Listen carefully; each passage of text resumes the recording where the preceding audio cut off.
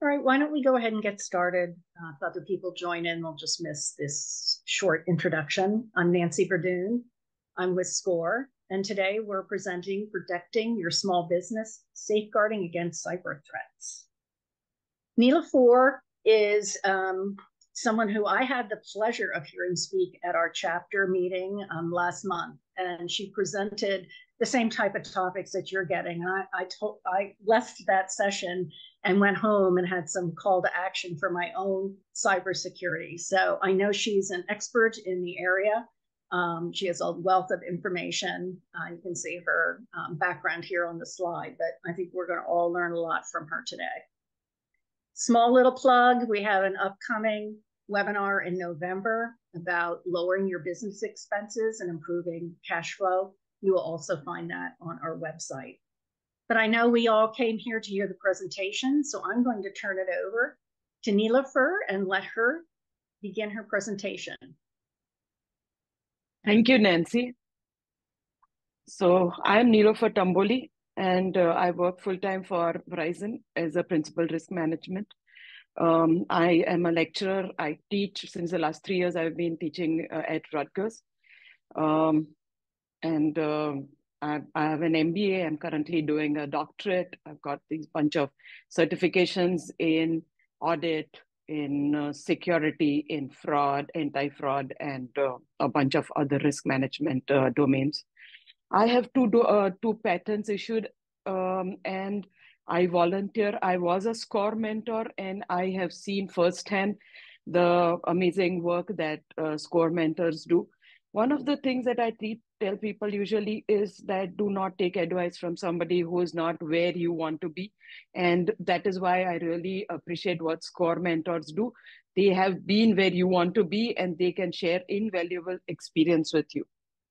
So let's get started.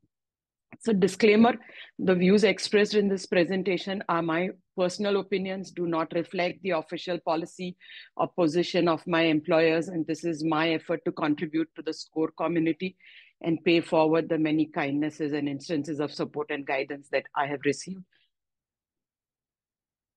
Okay, so usually people say like 90% of what we worry about like never happens. Today, we're going to talk about the 10%. This is a very recent survey done and in which small businesses, this was like uh, September 27, 2023, and small businesses are under, underestimating their cyber risk despite increased th threats. So what are they saying? 60% of business owners said that, you know, yeah, my business is too small. This could never happen to me. But According to the US National Cybersecurity Alliance, 60% of small businesses go bankrupt 60% after they have been there has been a cyber attack against them. Why does this happen? Because small businesses are overconfident and they are underprepared.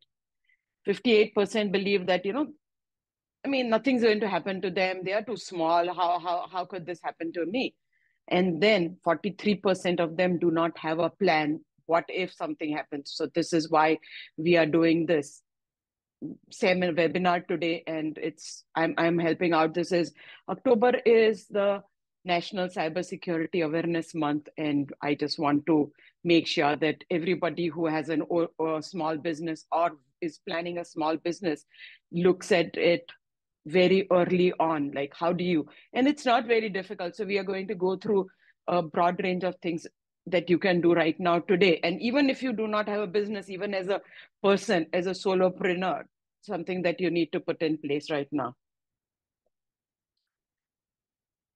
So small businesses lack proper protection. And and why does this why does this happen right?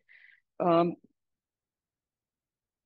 because 65% of them manage their cybersecurity in-house. And and that's great right? Because you're starting a business. It's not like you have stuff uh, money for scheduling somebody. You don't have IT staff. Probably you manage stuff online. So this presentation is going to help you prepare and give you actionable steps that you can take today right now on to get a little more secure than what you need to be so what are the most common attacks? Ransomware, identity theft, breach of customer data, and then business email compromise. If you see something like this on your screen when you open your computer or your laptop or whatever, it means that you have been a victim of a ransomware attack. Now, how do you prevent it? What are you going to do about it, right? So basically, never clicked on any links that are sent to you via emails or, or via SMS or any other way, right? Do not open any untrusted email attachments. Only download things from sites you trust. If you do not trust somebody, something, do not, because it's obviously going to be something that is they are the the threat actor is trying to send some kind of malware to you avoid giving out any kind of personal data use a mail server or content scanning. Depends like on what kind of business you have. If you're a solopreneur then that's i mean and you're using gmail or you're using any of these other free things then that's fine. But just be very careful. Never use unfamiliar usb drives. If you find a usb drive which is like left somewhere do not plug it into your computer your laptop. It's it's it's the last thing that you want to do use vpn when you are using public wi-fi and if use any say software um, to enable anti-malware protection. So great. Now what is identity theft? It's basically a fraudulent acquisition or use of a person's ident personally identifiable. And what is identity fraud? It is when that information that belongs to you is used for any kind of fraudulent use. What is, so this is what FTC has shared with us, like impact of identity theft.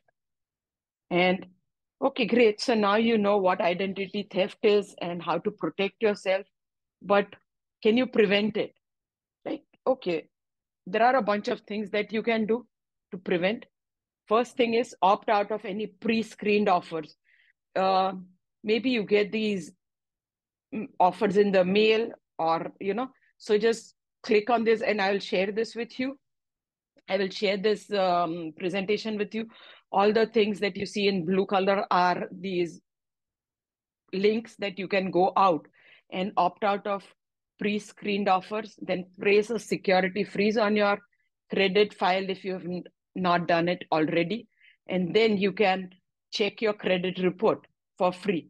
So basically what you do is every quarter means every three months, put a put a um, calendar um, reminder for yourself that you can go in and pull up a credit report. So every three months you you can pull that up. If you are you have been a victim of uh, any kind of breach, probably that that um, business has already provided you with one or two years of credit monitoring.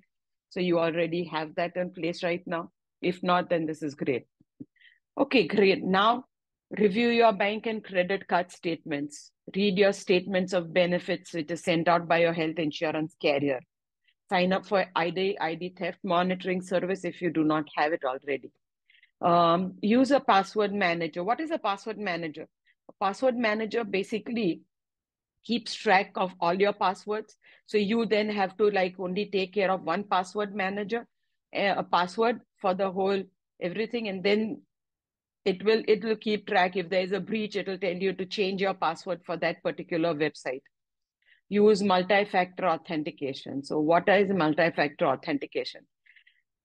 Most of your banks, most of your email service providers, etc., will provide you with a dual factor. So either they will say, okay, great, every time you sign up, we will send you a one-time password or you know any kind of so that is multi-factor.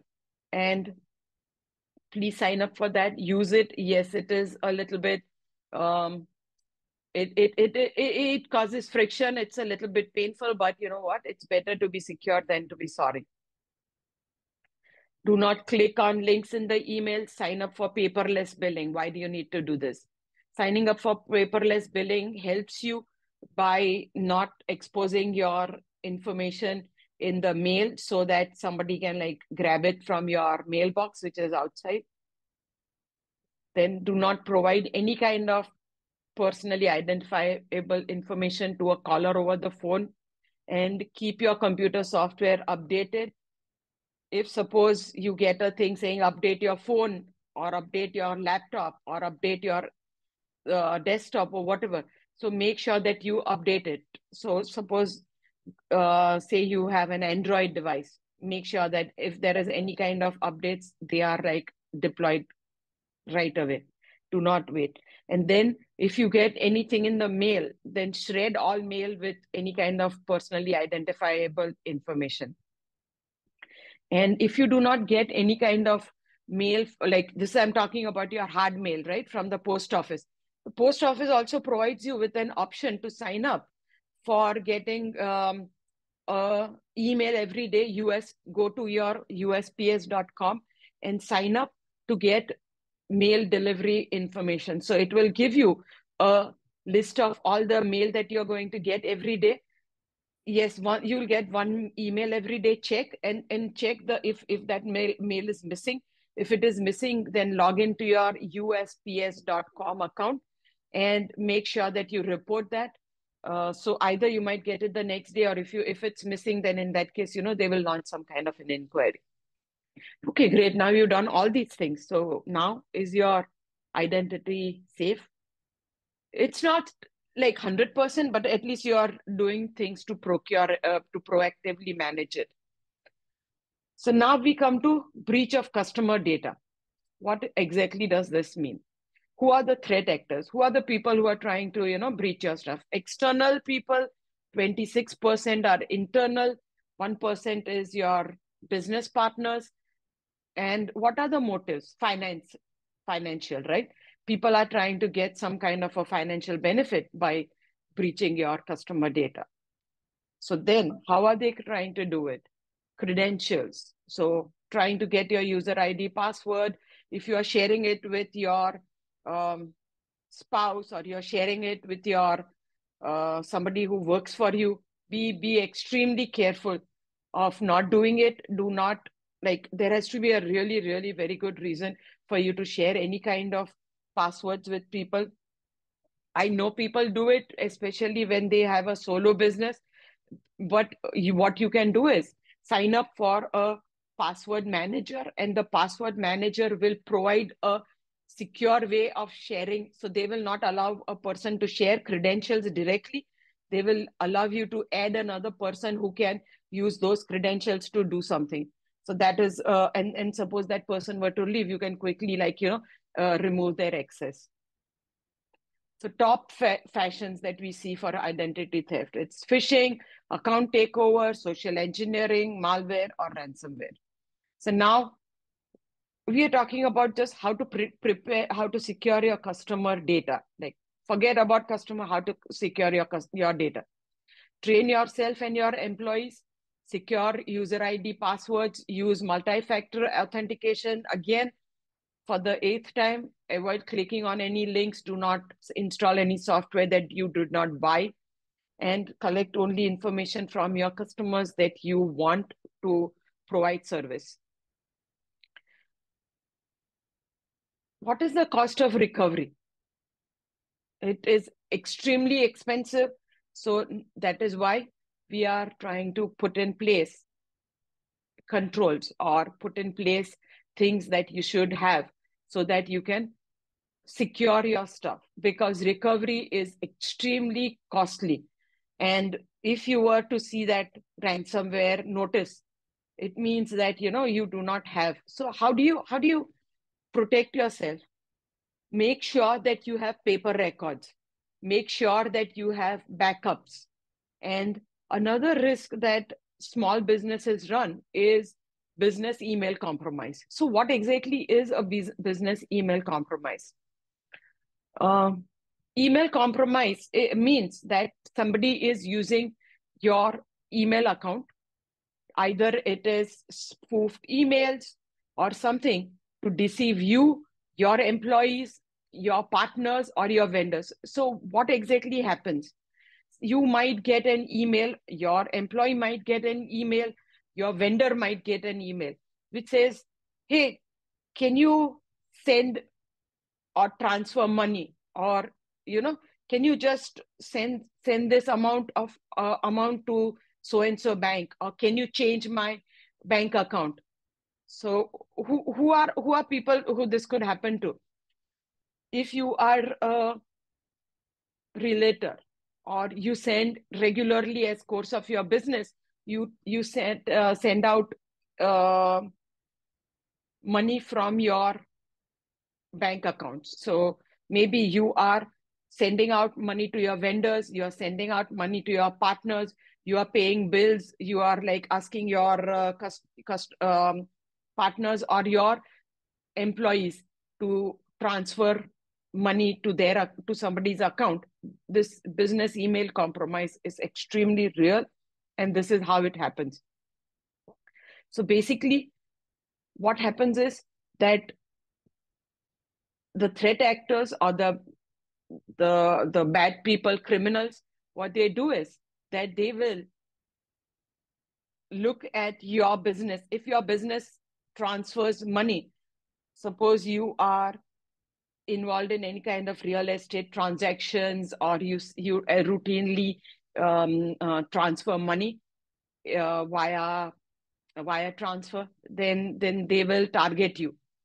Then what happens next is that they will probably create some kind of a phishing email or phishing campaign which is looking at your maybe social media profiles looking at what you are doing um, you might post stuff because if you are a small business you are going to try and get business through your um, um, facebook. So probably you post regularly on facebook you do it on linkedin or you have or some other kind of this thing right? You send out emails to get get to get new business. So they will craft some kind of social media campaign against you you will get a social you will get an email which will like convince you that you know they are conducting some some kind of a business transaction with you and try to compromise you. Subsequent to that they might send a email which is similar to an email that you would send to your business partner you would send to your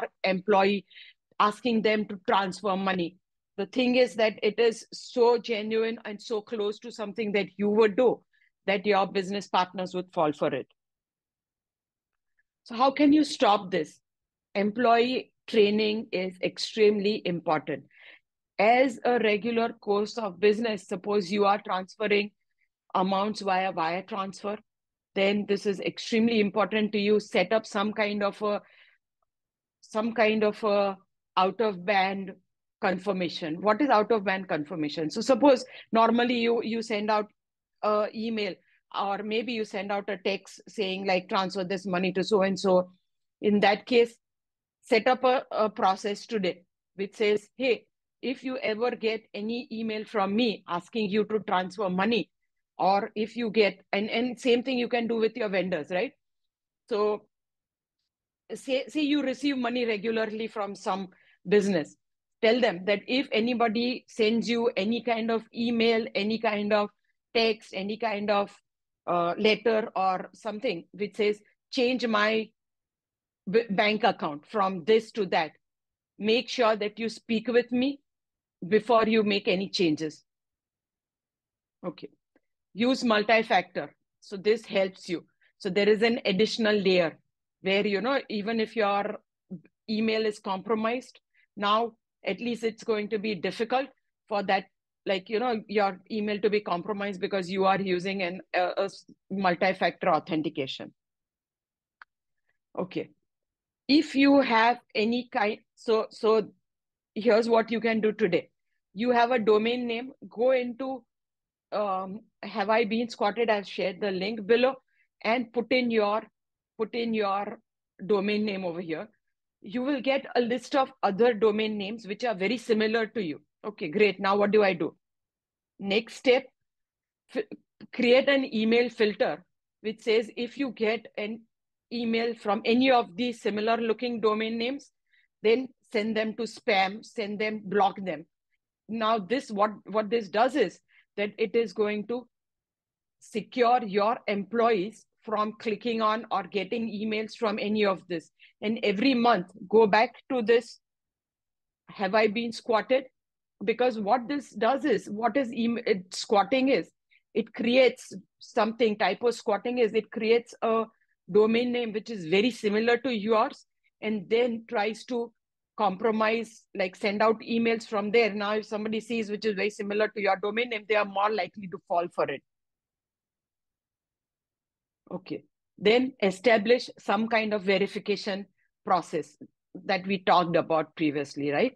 So suppose make sure that this is a business process. So it's more about technology as much as it is about technology. It is it is as much about some kind of a process that you put in place a business process. So if you are receiving wire transfers if you are receiving any, any kind of bank transfers or any kind of credit card transactions where you send out an email or you tell your employees or your business partners you need to have a verification process in place. And make sure that your verification process is not the same thing that you would do. Like suppose you are sending out a verif- email asking them to transfer money. Your verification process cannot be sending out another email or asking them because if somebody has compromised your email account then it's going to be pretty pointless or useless you know? So it has to be out of band so suppose text message will work if you are confirming an email stuff, right? Somebody like sends out an email to your accountant saying, hey, send me um, W-2s of all your employees on your behalf. Like suppose you are the business owner and suppose your CPA gets an email saying, hey, send all the custom, uh, all the uh, W-2s. Then in that case, make sure that your procedures with your this thing any kind of email that you receive from me, do not send out anything until you receive a text message or I speak with you on the phone or whatever. Hey, Nancy, do we have any questions coming? Uh, no, there's no questions yet. Anybody um, on the call? If you have any questions, just you can raise your hand or um, put them in the chat. Okay, great. So an ounce of prevention is worth a lot of money. Please, as a small business, this is a huge amount of trouble for you.